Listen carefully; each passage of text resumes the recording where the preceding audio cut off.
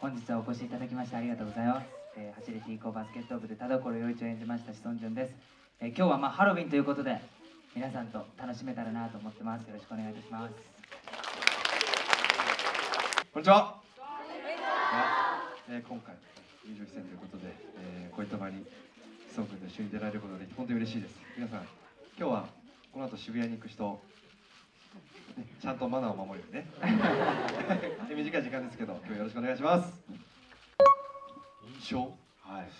はいじゃあ僕からいいですか、はい、えっとまあライダーの時に会ってやっぱ全然容姿が可愛いじゃないですか。でもこれギャップ？僕はこのギャップはすごいずるいと思っててあのまあいろんな映画やりましたけどまあそのキャストの中でもやっぱより男なんですよ。男らしいんです。だけど最初このファーストコンタクトでそれが分かんないから、うん、こうどんどん仲良くなっていくとその部分が見えてきてそういう部分がなんかこの前やった朝のドラマとかあはいはい、ああいうなんていうの中性的な役も結構多いじゃん、はい、だけどなんかそこに垣間見えるなんか男ららしさみたいなのが俺はね結構ねドキドキするんだよ。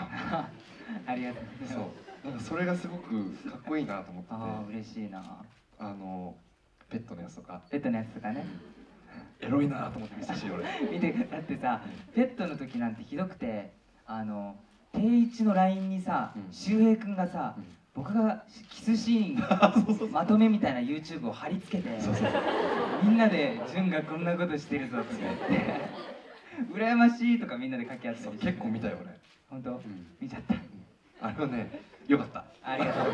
そうそうそう。だからなんかそういうこうギャップっていうかちょっとスイッチが入った時の男らしさっていうのはすごくなんか素敵だなと思って見てます、うん、いつも志尊さんは自分でそういった男らしい自分みたいな骨太い自分が出る瞬間ってなんか意識してやってる？いやいやいや僕はもう前からずっとこんな感じなので逆にその役でイメージを皆さんにしていただいたのとちょっと違うだけであって僕はなんか意識的に何かをしてるわけではないですね。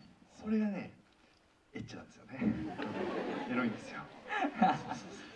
初めて会った時はすっごいまあもう皆さんが見た通りなんですよ。なんですけれどもすごい敬語でお互い。そうだった、ね、戦隊ライダーの時すごい距離があって東映撮影所の近くでしょ？そう。道であってね。歩きながらね。ね。であすごいこう丁寧ですっごい爽やかで、まあ、僕が言うのはあなんですけど好青年だなと思ってたんですが定一の国の途中ぐらいから急にりょうくんの中で「解放」っていう言葉がすごく出てきたんですね。その解放したりょうくんがまあ面白くて。でもう爽やかとかもうみんな周知の事実なのにもかかわらずそこを上回る解放が出てきてもう本当に火の打ちどころがないなっていうふうにすごく思ってますしもうテレビのまんまですしなんか飾らないでこうやってすっごく皆さんに愛されているよくもう本当に魅力そのまんまだと思います。ありがとうございます。最初は敬語を使ってすぐ打ち解けたって感じ、でも敬語使いません？最初はね。はい、はい、嫌じゃないですか？えっとどう？みたいな。よよみたいな。まあねまあね。絡みづらいよねそのね。まあそれはまあね大人として。うん。で定一の最初ぐらいまで敬語だったよ。お互い。えそうだっけ？そう。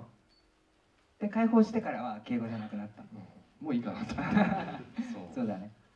感じとしては同級生感覚みたいな雰囲気なんですか俺はもう同い年だと思ってる。だ定一の国とかのメンバーみんなね同い年ぐらいの感覚ですね。感覚かな、はい、なるほど。千葉君はね割と上なそうでね。でも同い年ぐらいそこはあんま触れられ触れられづらいけど、千葉君はね